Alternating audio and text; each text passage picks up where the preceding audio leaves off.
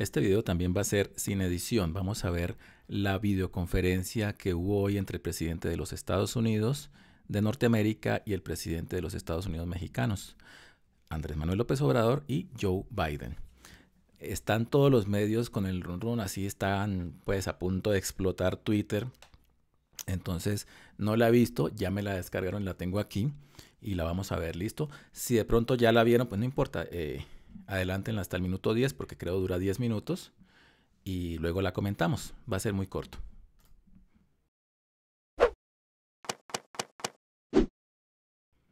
Listo, vamos a verla.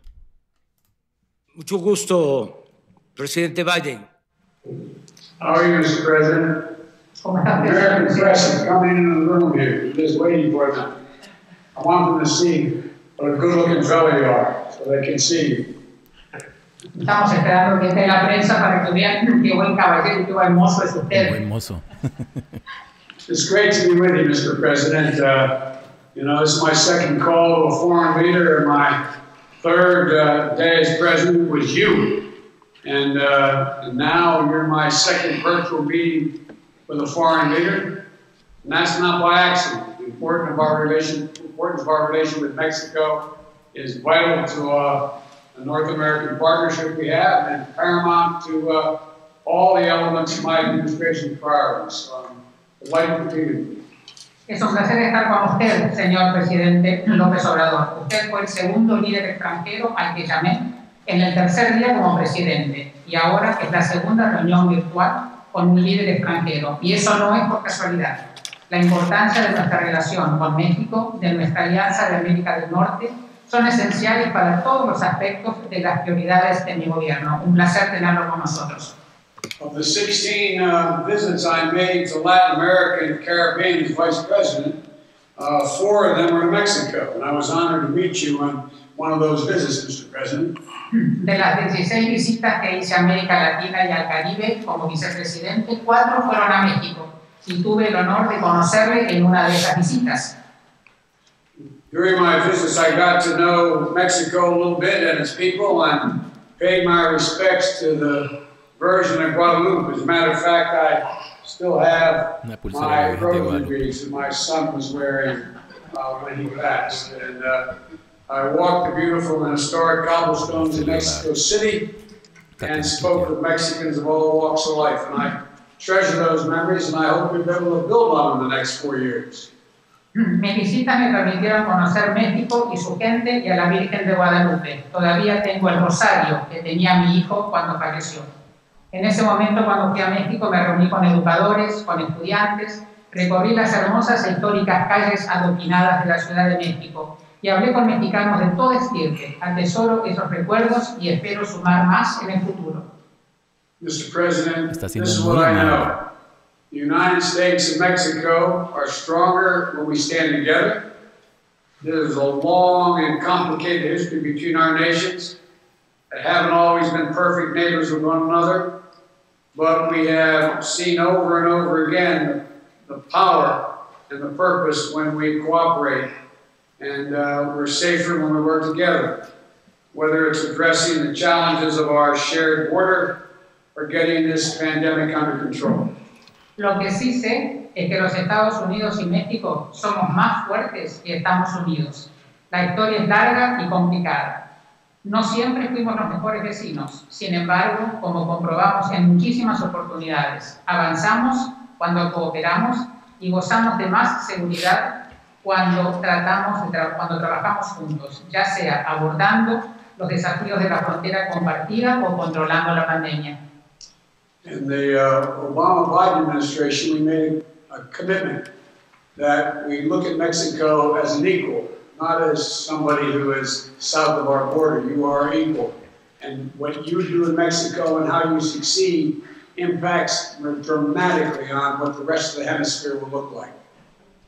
Durante el gobierno de Obama-Biden, nosotros decidimos que íbamos a tratar a México en pie de igualdad. Todo lo que ustedes hagan repercute para nosotros y para América Latina, y el éxito de ustedes se esparce en el continente. And as you know, the fastest growing population in the United States is Hispanic, and 60% of of the Hispanic population is Mexican American. They're an integral part of our history. And I keep a bust of the civil rights leader, Chavez, uh, Cesar Chavez, in my Oval Office as a reminder. Como usted sabe, el grupo que más se expande en Estados Unidos es el grupo de hispanos y el 60% de los que están aquí son mexicano-americanos. Esta es una, son parte que tiene un busto de César Chávez, pero no el boxeador Julio César Chávez, sino el sindicalista, ¿no? Es broma, perdón. fundamental de nuestra historia. Y como recordatorio, tengo un busto de César Chávez en la oficina oval. Mr. President, I'm looking forward to our discussion today and to the many ways uh, we'll have to work together as neighbors and partners, meeting our shared challenges. Señor, Thank you for doing this. señor presidente, estoy ansioso de comenzar nuestro diálogo hoy y los demás que tendremos en el futuro, como vecinos y como socios, para enfrentar los desafíos compartidos. Muchas gracias por estar con nosotros. Presidente Biden, inicio agradeciéndole la confesión sobre su devoción por la Virgen de Guadalupe. Los mexicanos respetamos, admiramos dos símbolos podrían ser distintos, pero eso al mismo tiempo demuestra la pluralidad, la pluralidad que hay en nuestro país. Esos dos símbolos que respetan todos los mexicanos son precisamente la Virgen de Guadalupe y Benito Juárez García, Así supo por dónde llegar, ¿no? un presidente liberal, el mejor presidente que hemos tenido en nuestra historia. Un indígena zapoteco que nos llena de orgullo. Por eso le agradezco que haya empezado esta conversación de esa manera, porque esto tiene que ver con el México profundo, con lo que somos los mexicanos. Como siempre, es un gusto saludarlo. Considero muy importante, fundamental, mantener buenas relaciones, poder dialogar sobre asuntos bilaterales periódicamente. Ya he sabido, hay voluntad para mantener buenas relaciones. Nos une la vecindad 3.180 kilómetros de frontera. Pero no solo nos une la geografía, nos une la economía, el comercio, la cultura, la historia y la amistad entre nuestros pueblos. Decía un presidente mexicano que duró un poco en el gobierno, dominó por 34 años, o se le atribuye a él una frase, a Porfirio Díaz, Porfiriato. decía, pobre México, tan lejos de Dios y tan cerca de Estados Unidos. Yo ahora puedo decir, bendito México, tan cerca de Dios y no tan lejos de Estados Unidos. Esa de- frase de México, tan cerca de Estados Unidos y tan lejos de Dios, es una, es una frase dura. Pero mire que la supo componer, creo que esto y haber gritado Viva México tres veces como si fuera el Día de la Independencia en la Casa Blanca, no lo había visto antes en un presidente. Yo creo que nuestra vecindad nos va a permitir desarrollarnos mejor en estos tiempos. El integrarnos como se ha hecho con el tratado, que América del Norte se complemente, se integre en lo económico, en lo comercial, nos va a fortalecer ante el evidente desarrollo, expansión de otras regiones del mundo. Por eso es estratégica nuestra relación. Eso tiene que ver con, perdón que interrumpa, tiene que ver con eh, la ayuda que varias veces el presidente de México ha pedido para Centroamérica. Y además yo agradezco mucho de que usted, como lo acaba de expresar y me lo comentó en la conversación telefónica que sostuvimos, usted eh, quiere que haya un pie de igualdad en nuestras relaciones, que haya respeto a nuestras soberanías y eso es muy importante. Tenemos que cooperar para el desarrollo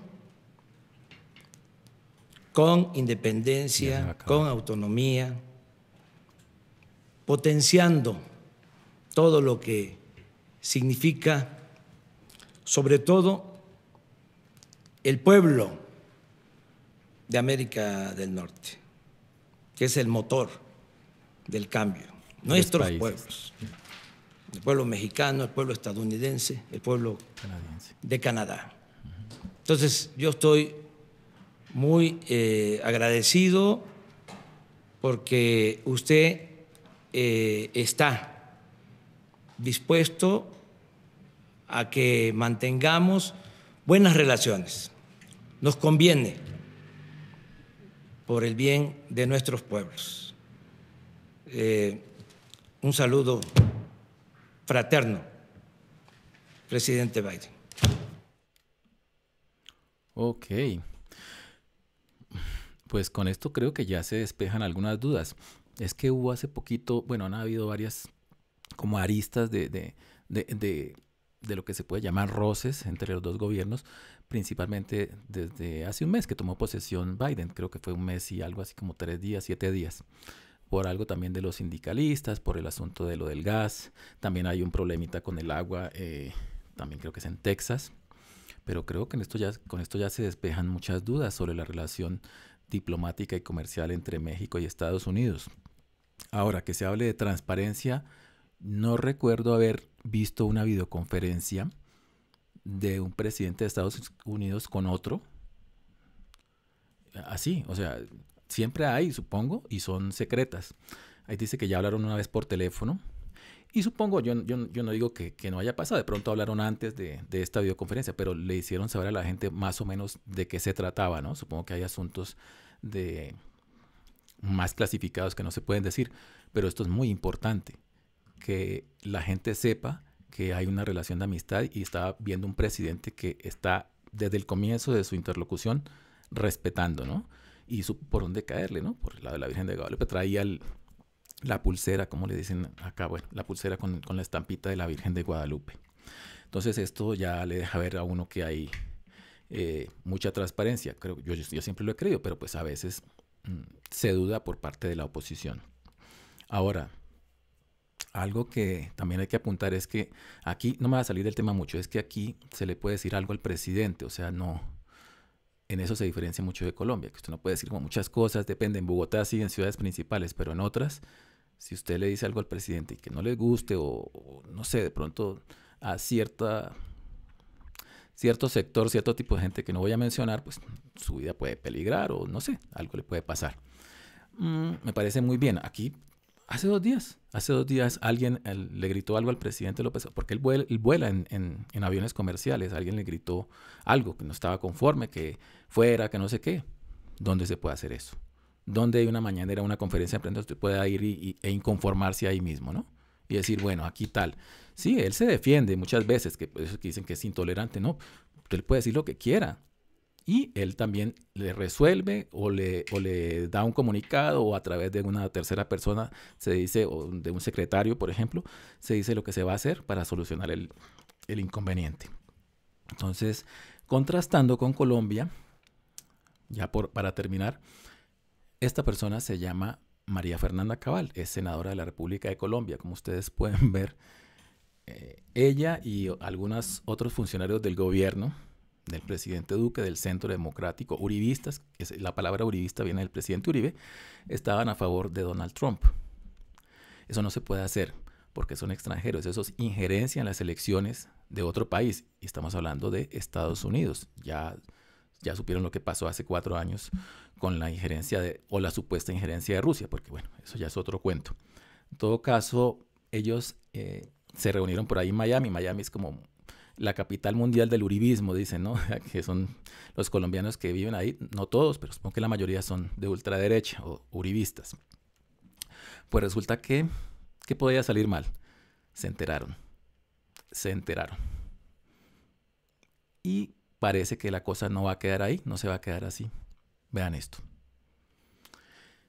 Ay, mire, este, este periodista es muy amado por ustedes. No, recordaba, mira, su, Loret de, de, Mola.